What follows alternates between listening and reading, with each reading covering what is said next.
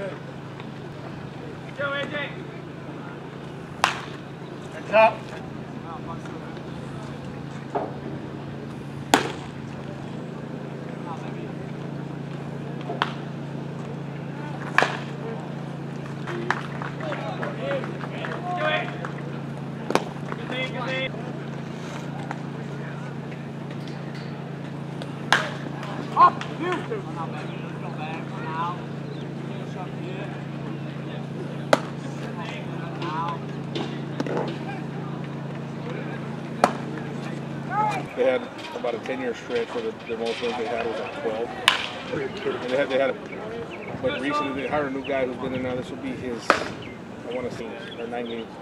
And then the next year they they won. Uh, I think they won like 16 games. Normally, the, one of the stronger ones, Long Beach. Our, ourselves, it just so for, for us, uh, the playoff team for Trinity is going to be Long Beach, Mount Sac. Now Pasadena looks like.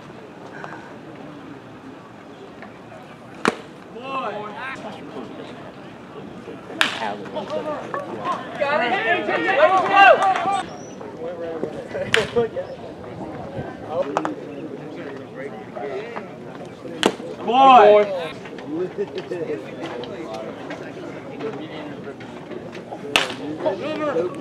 Got it.